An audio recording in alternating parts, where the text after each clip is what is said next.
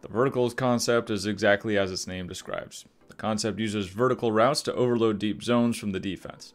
It also has small variations against different coverage shells that allow it to be effective against multiple defensive looks. The goal of the verticals concept is to create horizontal reads on the safety and a vertical stretch on any underneath defenders.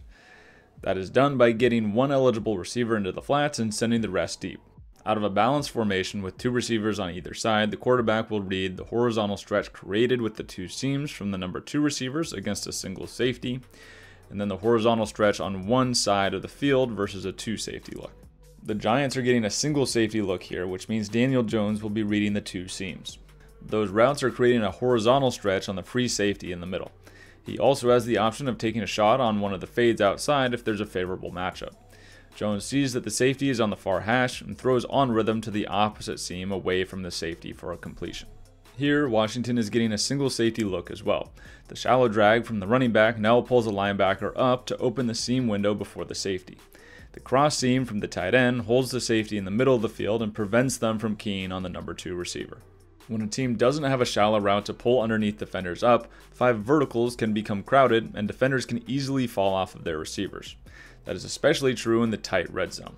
Here, Trubisky tries to back shoulder this throw to his seam inside away from the defender. Since there's a fade right next to it in that condensed area of the field, the outside corner is able to come off of that route and intercept the ball. Utilizing 5 verts takes a lot of field space and an almost perfect throw with so many defenders in the same area. The verticals concept stresses deep zones horizontally and gives the offense an opportunity for a big play. Holding underneath defenders with a shallow drag can open up windows before the safety. Five verticals can force an advantageous matchup with a linebacker on a skill player, but the window is going to be condensed with more defenders in the area. Hey guys, I appreciate you watching all the way through. Make sure you drop a comment. Let me know someone, scheme, idea, person who you want to see broken down here in the future. But I'm also releasing a speaking football course that goes over the basics of the language of football, what techniques are, what alignments are. So if you're interested in that, check out the link in the description.